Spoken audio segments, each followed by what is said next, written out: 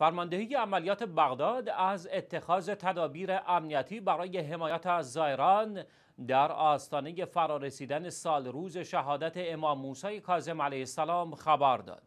با نزدیک شدن به 25 رجب مصادف با 23 فروردین ماه سال روز شهادت امام موسی کاظم علیه السلام هفتمین پیشوای شیعیان میلیون ها تن از محبان اهل بیت اسمت و طهارت علیهم السلام از داخل و خارج عراق در حال پیاده روی به سوی شهر مقدس کاظمین هستند.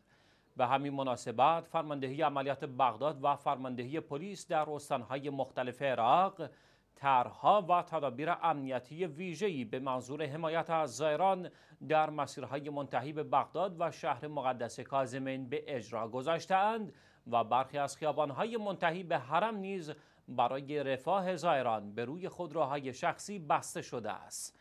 همچنین شرکت حمل و نقل عراق از آمادگی خود برای انتقال زائران و تهیه هزاران خودرو در محورهای مختلف شهر مقدس کاظمین خبر داد. پیش بینی می شود امسال نیز همچون سالهای گذشته در سال روز شهادت امام موسی کاظم علیه السلام حرم متحر کاظمین شاهد خیل عظیم و میلیونی زائران باشد.